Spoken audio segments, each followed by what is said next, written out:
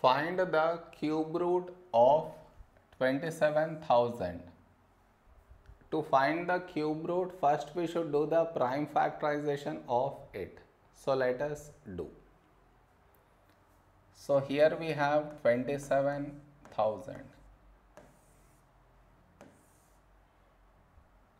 Now, for this number last digit is 0. So we take 5 here. First number is 2. 2 is smaller than 5 so we take two numbers that is 27. Now a number close to 27 in 5 table is 5 5 is 25. 27 minus 25 is 2, 2 carried forward making it 20. When do we get 20 in 5 table? 5 4 is 20. This 0 as it is down, this 0 also as it is down. Now, we have 0 here in the last digit. So, we take 5 here. First number is 5. When do we get 5 in 5 table? 5 ones 5. Next number is 4. 4 smaller than 5. So, we should take two numbers that is 40. Whenever you take two numbers compulsory, you should put 0. At the start, whether I put or not, it doesn't make any difference. So, I did not put here. But in between, if you are two, taking two numbers compulsory, you should put 0. Remember that. Next. Here we have 40. When do we get 40 in 5 table? 5 8 is 40. Next number is 0. This as it is down. Now for this number last digit is 0 so we take 5 here. First number is 1, 1 smaller than 5 so we take two numbers that is 10. When do we get 10 in 5 table? 5 2 is 10. Next number is 8. Now a number close to 8 in 5 table is 5 ones 5. 8 minus 5 is 3, 3 carried forward making it 30. When do we get 30 in 5 table? 5 6 30. Now for this number last digit is 6 which is even so we take 2 here. First number is 2. When do we get 2 in 2 table? 2 ones 2. Next number is 1. 1 smaller than 2 so we take 2 numbers. Whenever you take 2 numbers put 0. Now when do you get 16 in 2 table? 2 8 16. Now for this number last digit is 8 which is even so we take 2 here. First number is 1, 1 smaller than 2, so we take two numbers that is 10.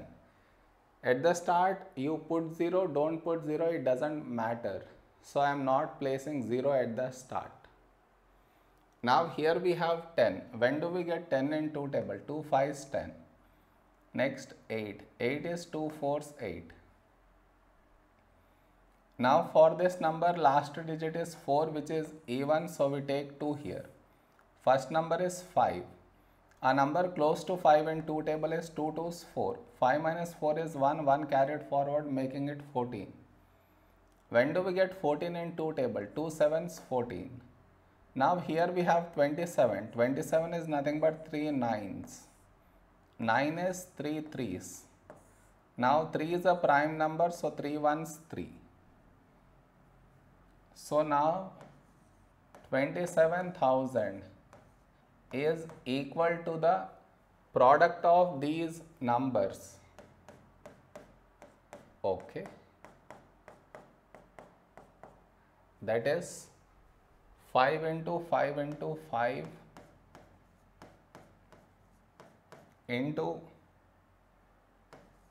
2 into 2 into 2 into 3 into 3 into 3. Okay, next. Here we have to find the cube root. So you take cube root on both sides. Next. Now for the cube root there is a property. Any number that is present 3 times in the cube root it will be written it will come out and it will be written only once. I repeat any number present 3 times in the cube root it will be coming out and it will be written only once. Next. Here we have number 2 also present 3 times inside the cube root. So it will come out and it will be written only once. Now next number is 3, present 3 times. It will come out of the cube root and it will be written only once. No more numbers are left in the cube root. So we are left with this. So you multiply this 5 into 2 10, 10 into 3 30. And on this side we have cube root 27,000. So this equal to 30. This is our answer. Am I clear?